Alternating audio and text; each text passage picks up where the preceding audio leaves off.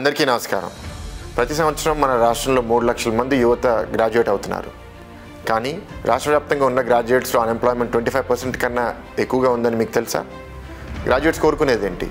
Investments companies ఉద్యోగాలు మంచి quality of life ఇవన్నీ ఉన్నాయా? గ్రాడ్యుయేట్స్ మన గొంతు చట్టసభలో వినిపించే అవకాశం మనకు వచ్చింది నెక్స్ట్ ఇయర్ జరగబోయే గ్రాడ్యుయేట్ ఎమ్మెల్సీ ఎలక్షన్స్కి మనం ఓటేయాలి అంటే ఈ నవంబర్ సెవెంత్ కల్లా మనందరూ ఓటర్ ఎన్రోల్మెంట్ తప్పనిసరిగా చేసుకోవాలి.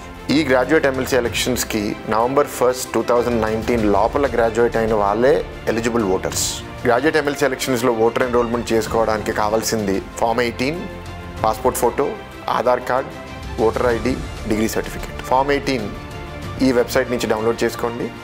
ఇదే లింక్ డిస్క్రిప్షన్లో కూడా ఉంది. ఓటర్ ఎన్రోల్మెంట్ మూడు విధాలుగా చేయొచ్చు.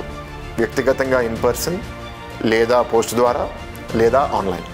వ్యక్తిగతంగా సబ్మిట్ చేయాలనుకుంటే ఫిల్ చేసిన ఫార్మ్ ఎయిటీన్తో పాటు డిగ్రీ సర్టిఫికేట్ ఒరిజినల్ జెరాక్స్ ఇతర డాక్యుమెంట్స్ కాపీసు మీ ఏరియాలో ఉన్న ఎంఆర్ఓ ఎంపీడీఓ లేదా నేరుగా ఆర్డీఓకి సబ్మిట్ చేయొచ్చు. ఒకవేళ మీరు మున్సిపాలిటీయో కార్పొరేషన్లో ఉంటున్నారంటే మీ జోన్లో ఉన్న అసిస్టెంట్ ఎలక్టోరల్ రిజిస్టర్ ఆఫీసర్కైనా సబ్మిట్ చేయొచ్చు. మీ ఒఫీషియల్ డాక్యుమెంట్స్ సబ్మిట్ చేయాల్సిన అవసరం ఉండదు కాపీస్ మాత్రమే.